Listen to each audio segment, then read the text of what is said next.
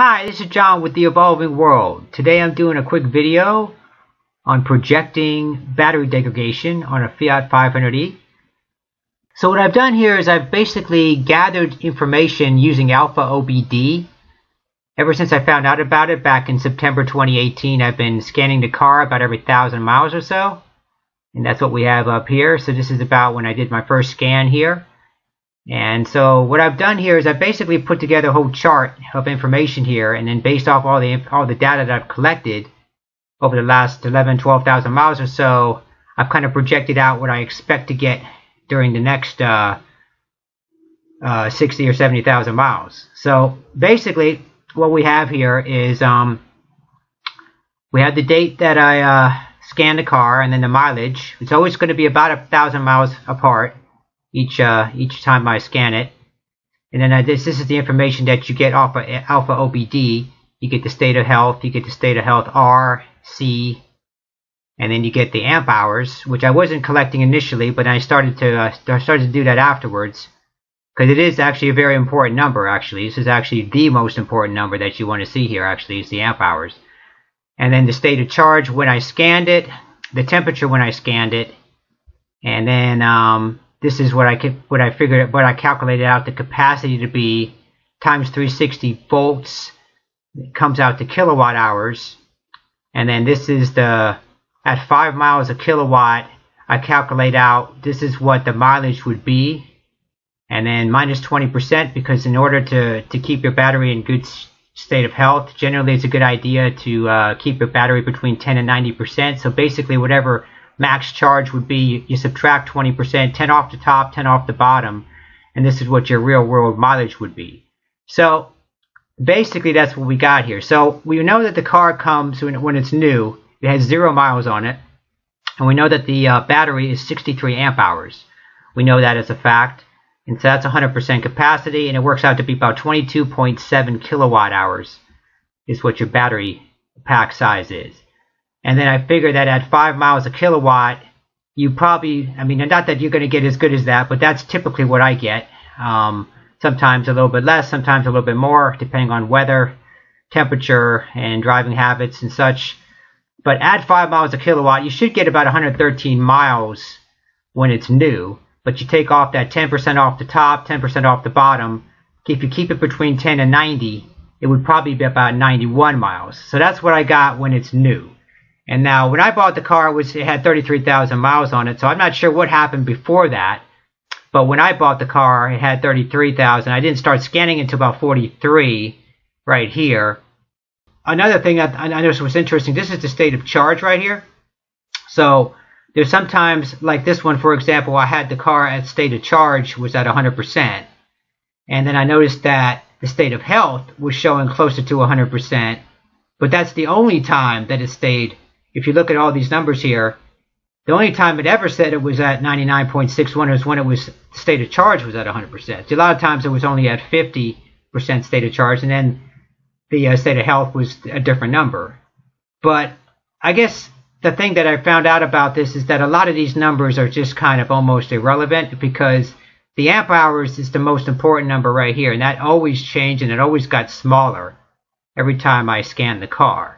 So despite these, sometimes the state of health C was showing that it was flat when it really wasn't. So these, so basically, I think all these numbers are basically useless.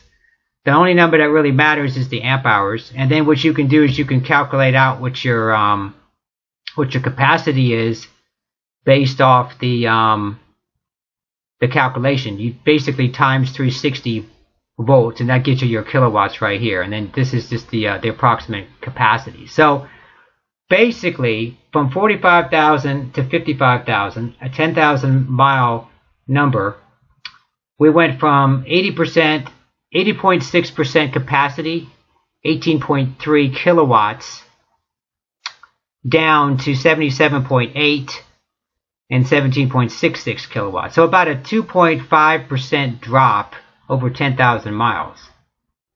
And um, this is what, at 5 miles a kilowatt, my actual range has gone from. So it's basically 91 and a half miles if I was going from 100% down to zero, which you're never going to drive at that, that um, distance.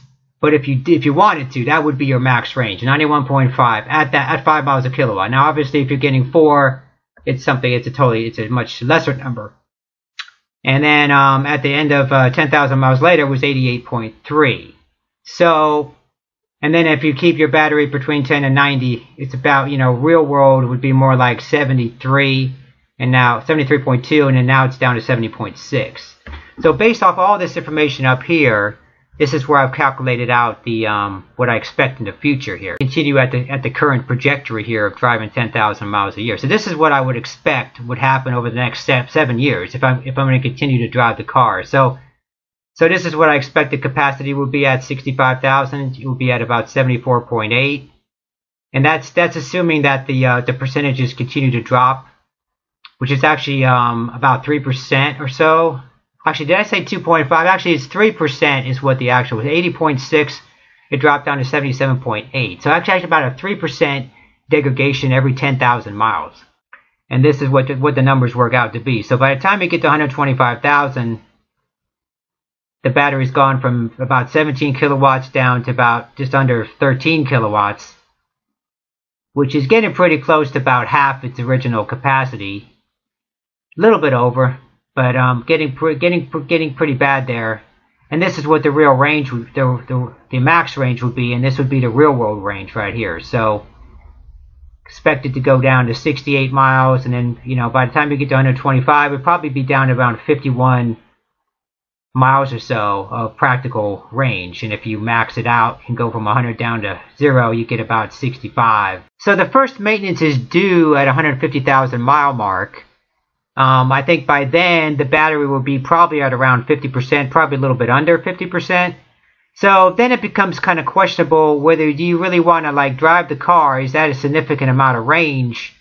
You know, to go 50 mile range, is that going to be enough? Maybe the best thing to do is to just take the battery pack out and use it as a battery backup for your house, which would be an excellent, you know, application.